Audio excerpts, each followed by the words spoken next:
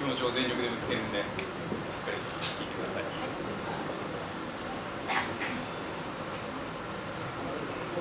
私、発明の方。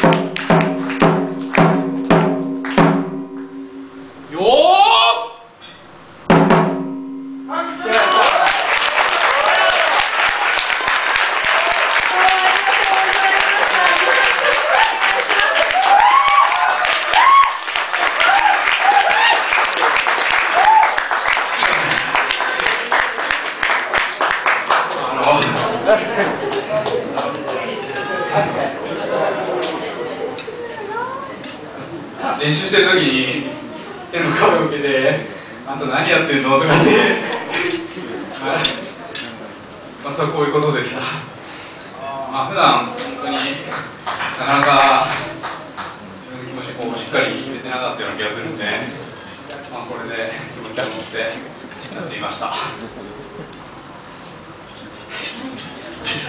どうもありがとうございます。この場所にも気がついておりました。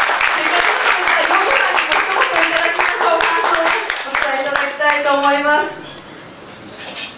はい、では、ヨコさん、一言お願いします。